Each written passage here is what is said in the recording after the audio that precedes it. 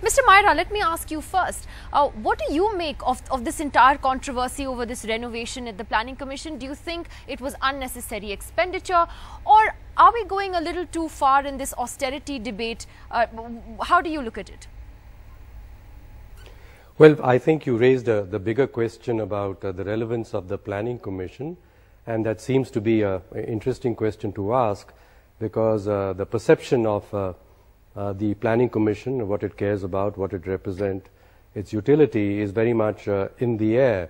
So perhaps you might get straight to that question rather than you know the toilets. But if you want a view on the toilets, I could say that having joined the Planning Commission just three years ago, um, I did feel that uh, uh, the, the toilets that uh, our staff were using, and I use the same toilets, were really in bad shape, badly maintained.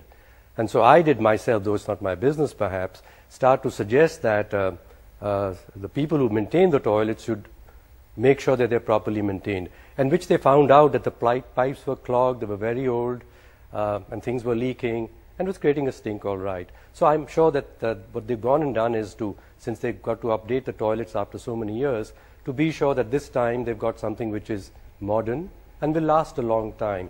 I don't know about the cost uh, that is being uh, stated here. I haven't myself used those two toilet blocks that uh, uh um, are in the, in the news now. But yes, the toilets in the Planning Commission, like most toilets in this country, I think, need much better maintenance and need to be updated from time to time because they get overused and uh, they wear out. I would, I will, I will not disagree with you on that. But let me link this now to the larger question because this is not a debate uh, uh about uh, about the loos in the planning commission. Let me ask you, Mr. Maira, that you know.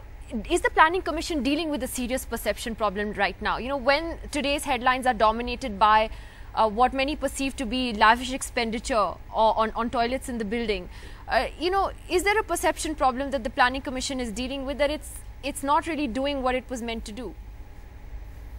Absolutely. I mean, uh, what's the point of discussing that? Uh, it, is, it is having a perception problem. And is the Planning Commission doing what it was meant to do? Uh, that's one question. And is the Planning Commission doing what it should now do? Which is uh, probably a, a, a, an even more important question to ask. Now, when I joined the Planning Commission uh, three years ago, um, I was asked by the Prime Minister and the Present Deputy Chairman, that's Dr. Ahluwalia, to, uh, because of my background in management, to help suggest how the Planning Commission could update itself, could renovate itself. So I requested them to give me the names of 20 persons in the country from various sectors that the country would respect and that they would respect the opinions of. So I was given the names of some very eminent industrialists, I was given the names of some very eminent economists, some heads of institutions, some currently in institutions, some retired, and some political leaders.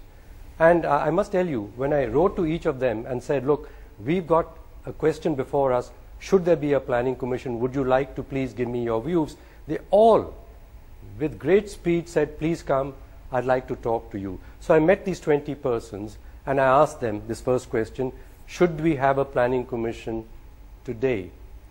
Uh, that really was a more difficult question for them to answer, so I put it another way. Should the Planning Commission as it is continue? And they said, oh, that's a simple answer. No, it should not. I said, then, okay, let's say it's closed. Should we consider having some institution in this country that fulfills a need that the country has today? And then they discussed what is the need of the country today in the present configuration, India in a global economy, India in a in a situation where we don't have a single party ruling across the country, many parties contending, coalition governments, a much larger private sector than we had when the Planning Commission was set up.